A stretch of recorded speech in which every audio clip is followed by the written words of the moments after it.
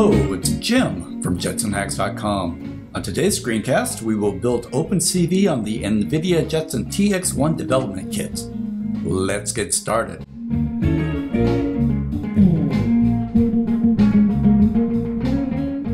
Let's take a look at this machine. It was just flashed. You can see that we have 4 gigabytes free on the disk that's not going to be quite enough for us to build OpenCV. So before we start that process, let's clean it up a little bit. During the install process, all of the .deb files are copied over to the Jetson. So we can get rid of these. I advise you to store them somewhere like on a USB drive or some such. But for the purposes of this demonstration, we'll just delete them.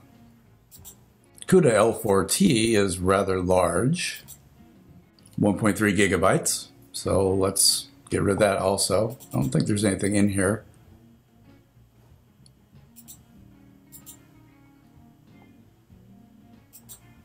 And we will empty this trash.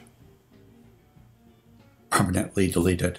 With the deprecation of OpenCV for Tegra starting with L4T 28.1, you may want to build OpenCV from source. On the Jetson Hacks account on GitHub, there is a repository named Build OpenCV TX1, which contains the outline of a script to help in this task. Let's take a look at that script. It's called buildopencv.sh. In this first step here, we install some dependencies. As you know, OpenCV is a very rich environment, so this may or may not be enough of the dependencies to support your use case. Next, we install Python, in this case version 2.7. We download the OpenCV repository and check out version 3.3. We also check out the OpenCV extras so that we can run some tests if we'd like we switch over to the OpenCV directory. And because we build out of tree, we make a new directory for the build. We use CMake to create the make file to build OpenCV. So we're going to use Python 2, so we set that on. We are going to use CUDA support. So we have the GPU behind us. For the Jetson TX1, the architecture is 5.3. And we are also going to use GStreamer so that we can access the onboard camera. So we set GStreamer to on, and then we run make. So let's grab the address here. Git clone.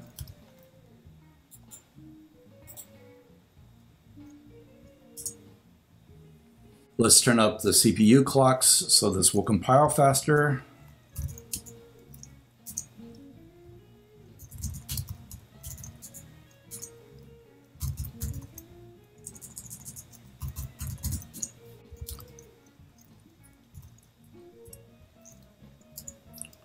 Switch over to the repository directory and start our build process.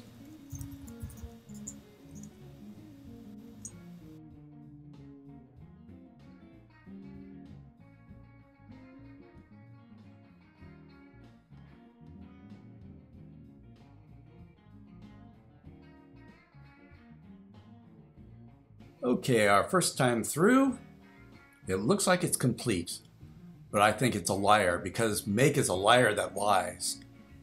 Let's go take a look at our OpenCV build directory.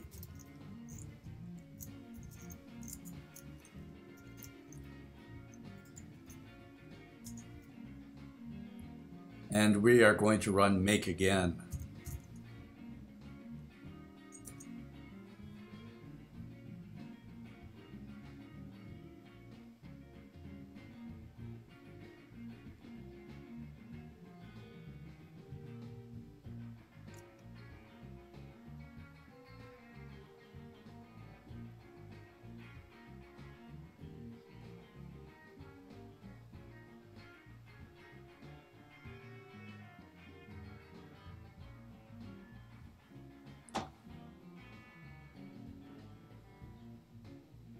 Ah, there's a straggler.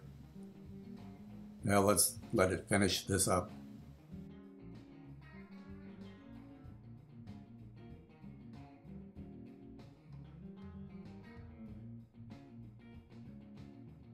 Okay, so it looks like everything is made now. Let's install it.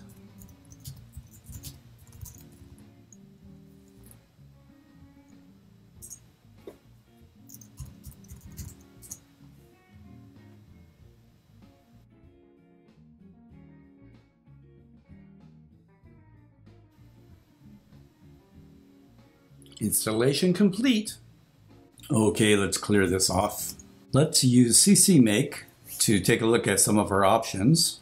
Let's see, I know CCMake is not loaded, so let's look for it.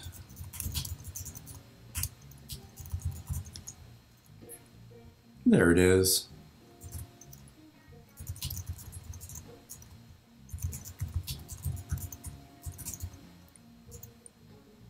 CMake dash curses slash GUI. GUI, GUI, GUI.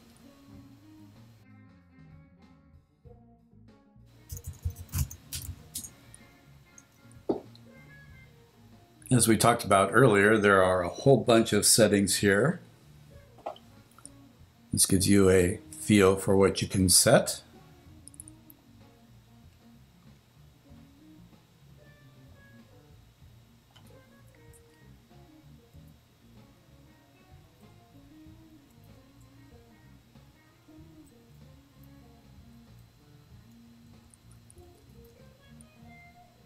So now OpenCV is built and installed on the Jetson TX1.